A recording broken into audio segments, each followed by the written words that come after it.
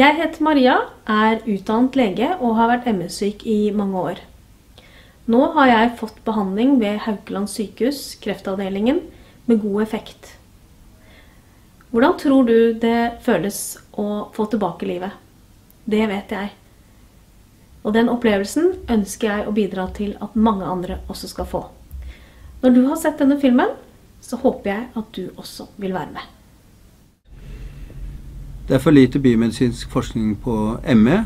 Haukeland-studien har eh, vist veldig gode resultater hittil. Og de har også vakt betydelig internasjonal oppmerksomhet.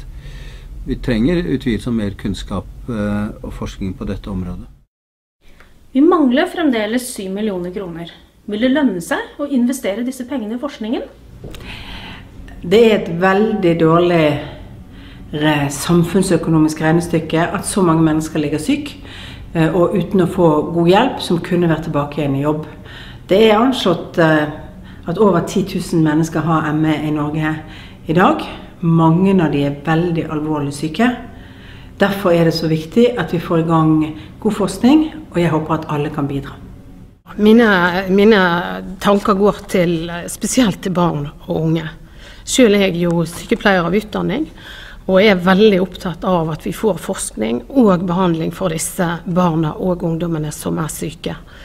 Og den største drømmen må jo være å se disse barna komme ut eh, i samfunnet igjen. Gå på ski, leke, hoppe tau. Være med i livet sånn som de egentlig skal. Om vi tar utgangspunktet i hvor mange syke voksne det er, anslår vi at det bare i Norge er mellom 1000 og 2000 ME-syke barn.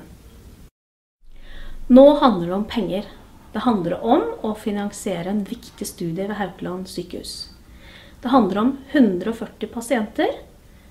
Det koster bare 50 000 per pasient. Vi har bestemt oss for å samle inn 7 millioner kroner, og det klarer vi sammen. Bli med du også. High five!